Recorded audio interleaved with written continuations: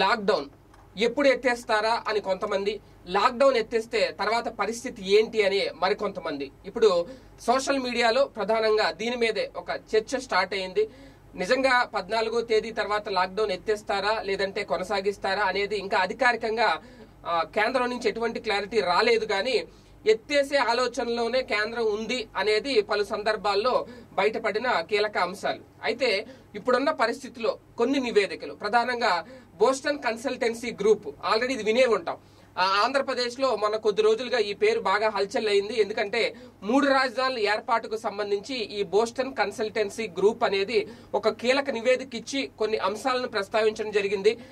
మూడు రాజధానులు ఎక్కడ ఏర్పాటు చేయాలి ఎలా ఏర్పాటు చేయాలి అనే దాని మీద అప్పుడు ఈ పేరు అందరికీ సుపరిచితమే బాగా గతంలో కూడా చాలా పరిశోధనలు చేస్తుంది. అమెరికా వ్యాప్తంగా ప్రపంచవ్యాప్తంగా పలు దేశాల్లో ఈ కంపెనీ రన్ అవుతా ఉంది ఈ గ్రూపు.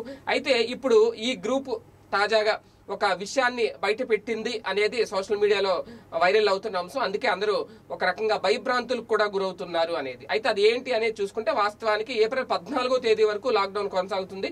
తర్వాత కొనసాగించాలా తొలగించాలా అనేది ప్రభుత్వం యొక్క ఫైనల్ డెసిషన్ కేంద్ర ప్రభుత్వం యొక్క ఫైనల్ డెసిషన్. అయితే ఇప్పుడు ఈ కరోనా వైరస్ వ్యవహారం మీద ఈ బోస్టన్ కన్సల్టెన్సీ గ్రూప్ ఇచ్చిన నివేదిక కలకలం రేపుతోంది అంటే దానికి అర్థం ఏంటంటే ఈ కన్సల్టెన్సీ గ్రూప్ చెప్పిన కొన్ని విషయాలు ఏంటి అంటే లాక్డౌన్ ఇప్పుడు ఎత్తివేయడం సరికాదు జూన్ నెలాఖరు వరకు కొనసాగించాలి అనేది.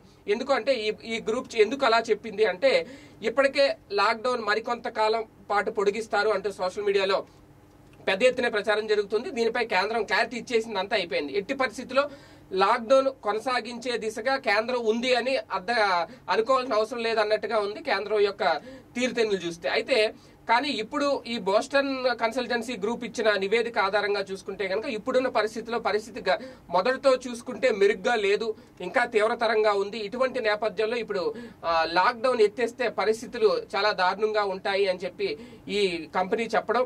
ఇప్పటికే లాక్డౌన్ కారణంగా అన్ని రాష్ట్రాల ఆదాయం బాగా తగ్గిపోయింది. ఇటీవల ప్రధాని మోడీ కూడా అన్ని రాష్ట్రాల ముఖ్యమంత్రికి నిర్వహించిన వీడియో కాన్ఫరెన్స్లో ఇదే విషయాన్ని ముఖ్యమంత్రులందరూ ప్రధాన దృష్టికి తీసుకెళ్ళడం జరిగింది.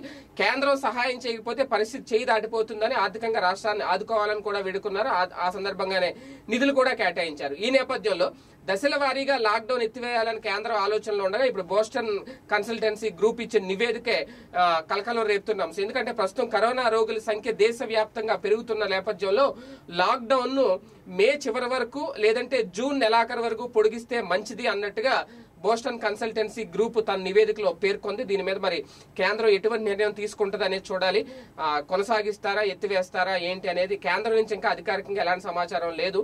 ఇంతలోనే ఈ బోస్టన్ కన్సల్టెన్సీ గ్రూప్ ఇచ్చిన నివేదిక ఇప్పుడు సోషల్ మీడియాలో వైరల్ అవుతుంది కలకలం రేపుతుంది. నిజంగా అంత తీవ్రత ఉంటే మరి కేంద్రం కొనసాగిస్తుందా? ఈ నివేదికను పరిగణలోకి తీసుకుంటుందా? ఏంటి అనేది వేచి చూడాల్సిన అంశం.